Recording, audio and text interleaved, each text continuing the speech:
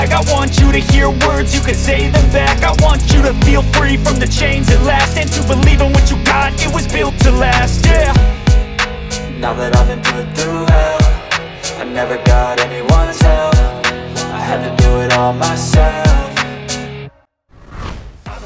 Ya tahukah kamu, Cristiano Ronaldo adalah pemain tertua di skuad Portugal dengan usia 38 tahun.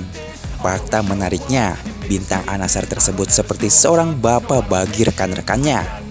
Bukan hanya sekedar seorang pemimpin ataupun kapten, tapi Ronaldo adalah panutan bagi generasi selanjutnya. Bahkan seorang Bruno Fernandes pun yang dikenal sebagai pengkhianat karena selalu bersikap dingin kepada CR7, kini Bruno Fernandes memberikan pujian kepada Cristiano Ronaldo yang terus beradaptasi untuk mencetak gol meski sudah tidak lagi muda. Ya, Ronaldo baru saja mengantarkan Portugal lolos ke Piala Eropa 2024 usai membobol Bosnia dengan skor 5-0. Menanggapi capaian fantastis Ronaldo, pemain Portugal Bruno Fernandes mengungkapkan kekagumannya.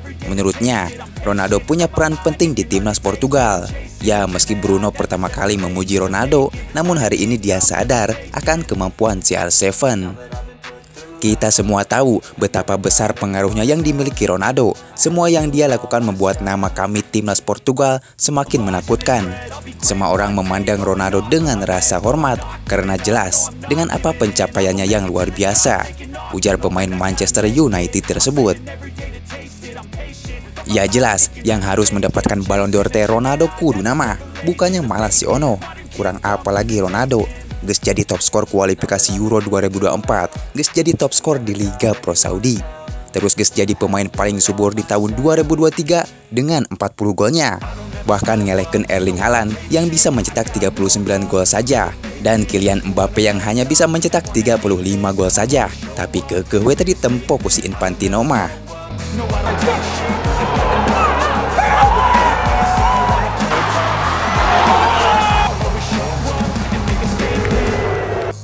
Ya di saat pemain lain di usia 38 tahun main di klub jadi cadangan, jadi camat, gawena diukwe, dina bench, main hente, tapi Ronaldo di usia 38 tahun jadi tulang punggung Al-Nassr, jadi tulang punggung Portugal.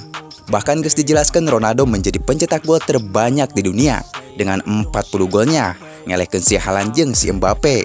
Anu usiana jauh lebih muda dibanding si R7. Ya usia hanya umur bagi dirinya, buktinya pemain muda sekelas bintang pun tidak bisa melangkahinya.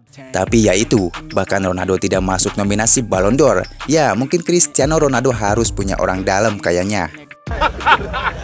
Hey guys! hey guys!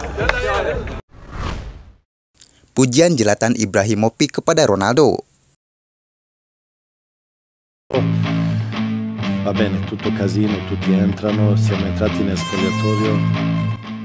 Ya tahukah kalian jika seorang Ibrahimovic yang kadang tengil kadang tidak Tapi malah nasi Ibra memuji kepada seorang Ronaldo yang tampil gacor di usianya yang sudah menua?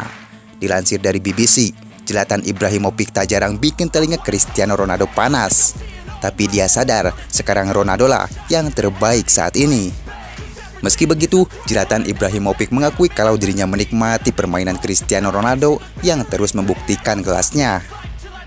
Saya tidak cukup beruntung untuk bermain dengannya, tetapi saya senang melihatnya di lapangan. Saya lebih suka bermain bersama Ronaldo dalam satu tim daripada menghadapinya, ujar Ibra.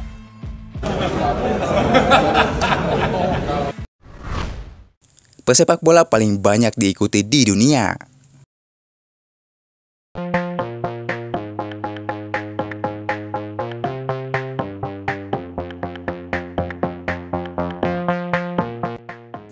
Ya tak cuma jago di dalam lapangan namun Ronaldo juga menjadi pemain paling banyak diikuti dan dikagumi oleh semua orang di penjuru dunia. CR7 membuat sejarah Instagram dengan menjadi orang pertama yang mencapai 608 juta pengikut di media sosial milik Meta tersebut.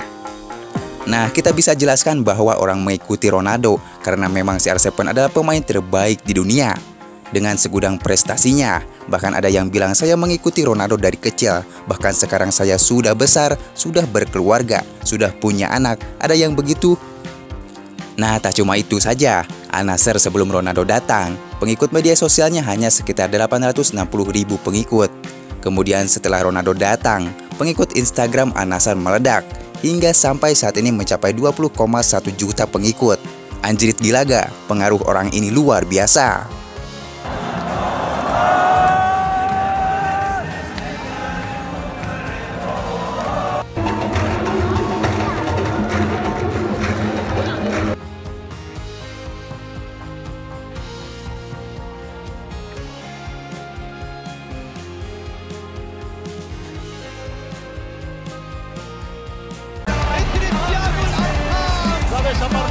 Appare Messi, gol, gol, gol,